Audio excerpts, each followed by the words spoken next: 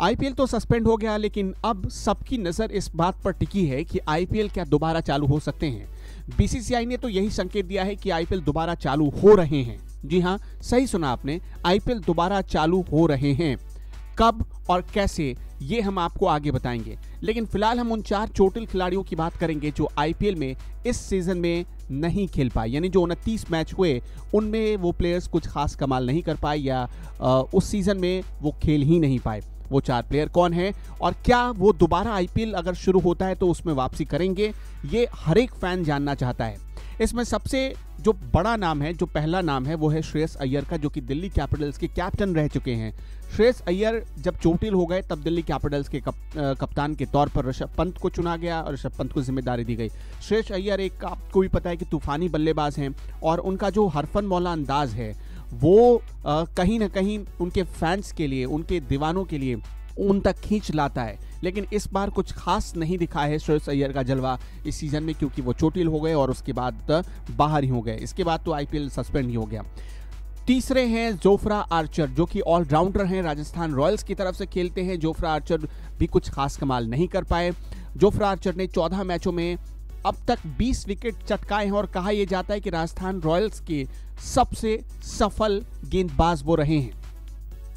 हालाँकि राजस्थान रॉयल के गेंदबाज जोफ्रा आर्चर सीज़न के शुरू होने से पहले ही चोटिल हो गए, जिसकी वजह से वो टूर्नामेंट से ही बाहर हो गए। आर्चर ने मार्च में एक सर्जरी करवाई थी और पूरी तरह फिट होकर उन्होंने क्रिकेट के मैदान में वापसी की थी।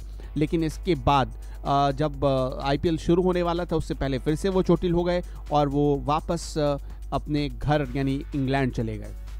इसमें तीसरा नाम है टी नटराजन का। टी नटराजन सनराइजर्स हैदराबाद की तरफ़ से खेलते हैं। आईपीएल 2020 में टी नटराजन का शानदार प्रदर्शन रहा है। हालाँकि नटराजन जो इस आईपीएल सीज़न के शुरुआत के दो मैच थे, उसे खेल चुके थे, लेकिन उसके बाद वो चोटिल हो गए और पूरे टूर्नामेंट से ही बाहर हो गए।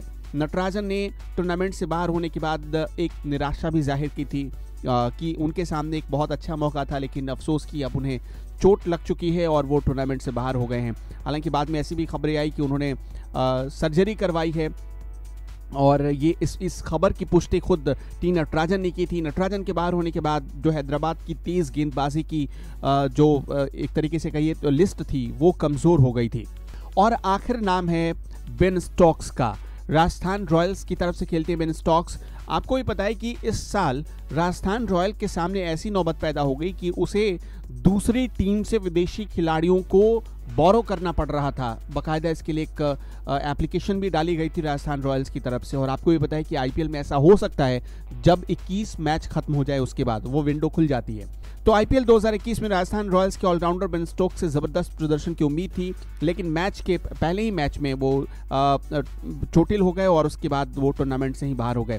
कैच पकड़ते हुए उन्हें चोट लगी थी और मैच से बाहर होने की जब खबर आई तो राजस्थान रॉयल्स के क्रिकेट फैंस के लिए ये एक तगड़ा झटका था।